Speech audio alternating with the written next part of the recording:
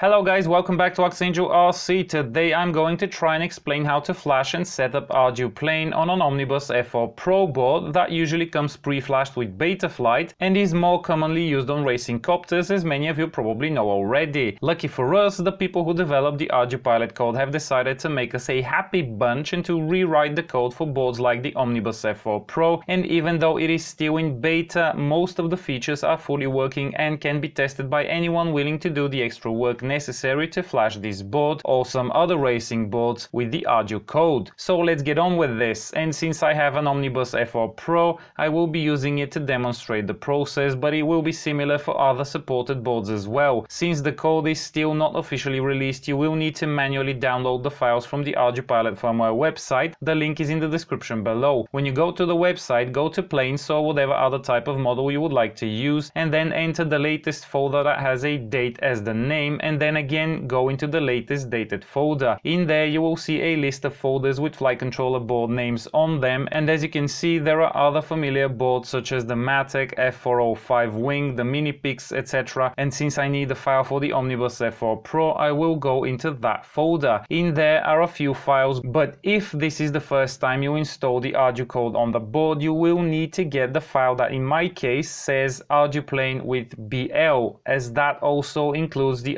Bootloader in it, which is necessary to then be able to connect the board to Mission Planner or other similar software. In case you already have flashed the board and just need an update, you should download the .apj file, which can be directly flashed via Mission Planner, but I'll get back to this a bit later. So for a first time install, download the firmware type with BL file, then connect the board to the computer and the easiest way to flash it is actually via the Betaflight configurator. Open that and go to the firmware flasher tab, scroll down and select load firmware local. Find the file just downloaded, open it and then select flash firmware. If all is good, the configurator should put the board into DFU mode automatically and should start the flashing process. If the process doesn't start or there is some other issue, correct it and try again. Once the flashing is done, you are now ready and can connect to the board via Mission Planner for instance or another Ardu compatible software, but I do use Mission Planner so we'll demonstrate the next steps in it.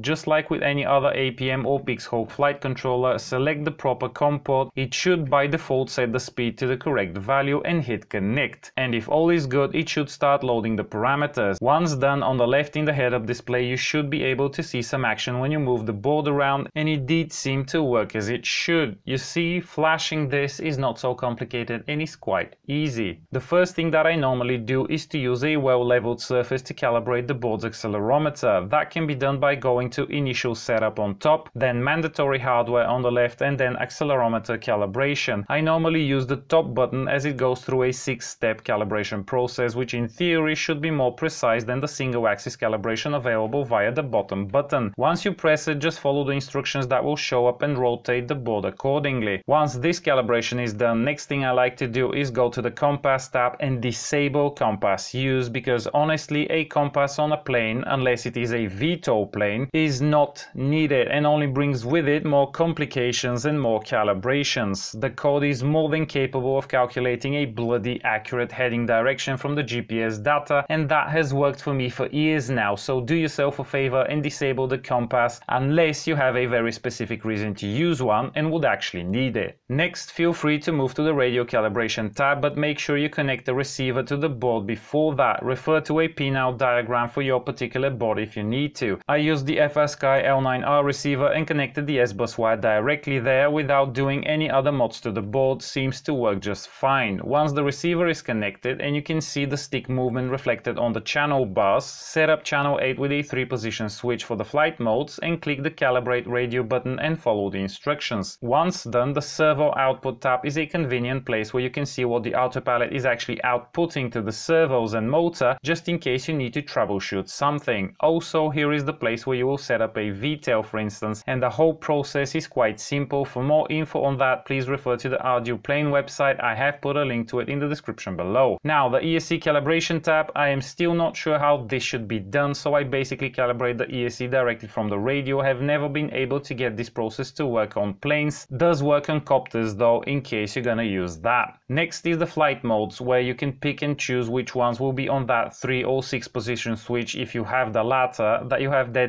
for that purpose. And last is the failsafe screen and if you're using an FrSky Taranis like I am, you shouldn't have to change much here unless you want some battery failsafe conditions or others, but you should remember to properly set the failsafe on your receiver to either lower throttle below 950 or program it to output no pulses on signal loss, which will be correctly interpreted by the autopilot as a failsafe event. And now on to what most people are interested in, the OSD configuration. Sadly, there is no graphical user interface for that yet, so you will have to do it via the full parameter list or tree. I do prefer to use the tree, keeps things a bit more organized. So go to the full parameter tree and scroll down until you locate the OSD type parameter, set that to 1, hit the write parameters button and then restart the flight controller to enable the OSD. Go back to the full parameter tree and scroll down to the OSD parameters and now you will also see four additional OSD parameters. Those are four separate OSD screens that you can have and you can set up a switch on the radio to cycle through them. Decide how many screens you're going to need, set the parameters to 1, save the changes and then refresh the parameter list so it would load up the new extended parameter trees for these OSD screens. The OSD parameter drop down without a number after it is the main settings tree where you set up fonts, screen switching channel, etc. A link to the parameters and what each does is included in the description below so read up on it before messing around. In my case after the parameter refresh I now have OSD1 and when I expand that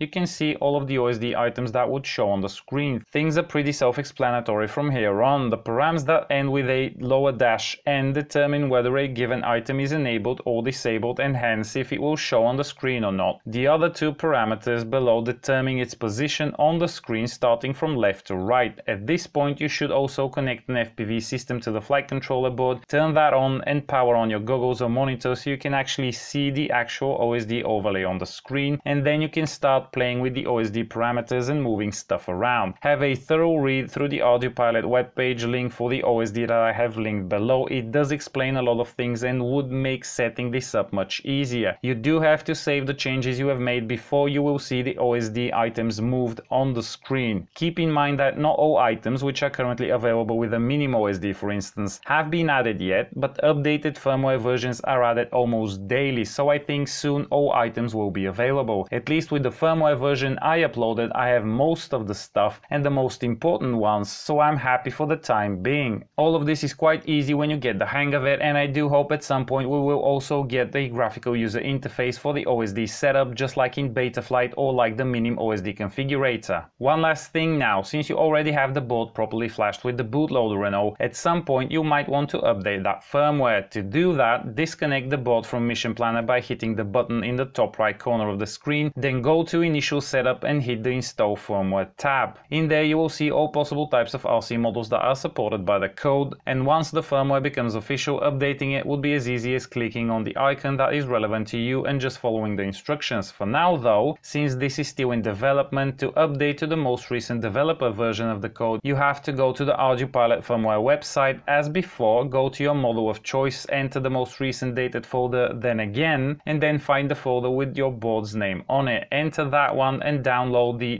.apj file. After that, go back to Mission Planner, make sure the board is connected to the computer but not connected to Mission Planner, then go on the Install Firmware tab, click on the Load Custom Firmware option and browse to the file you just downloaded. Open it and follow the instructions. I know it is not as easy as just clicking an icon, but it is still simpler than it could have been and I think most people should find it quite easy to do. After all of this, the board is pretty much ready to be installed in your model of choice and following you can finalize setting up the output channels, movement direction of control surfaces and so on, but those are things which I will not be covering here purely because they've been covered to death in other people's videos and on forums, so just go looking around if you need any additional information. Plus, I really don't want to make this video an hour long. Now, all of the relevant links for the stuff I've talked about can be found in the description below, so don't be shy, go and check them out, especially if you are new to ArduPilot. Also, while you're at the ArduPilot page, have a look around around and read anything that seems relevant to what you want to do. They have a lot of information there and it all adds up little by little to clear up the initial fog that is the ArduPilot code. If you would like to support my work, Patreon is one way to do it. Alternatively, in the video description you will also find some links to certain websites and using them to purchase any product off of these websites will end up with me getting a small commission at no additional cost to you, which in turn will go a long way towards supporting what I do and you will have my eternal gratitude. If you have found this video useful, please feel free to like, share and subscribe if you haven't already and also consider following me on Facebook for more regular updates. I wish you successful flashing and until next time.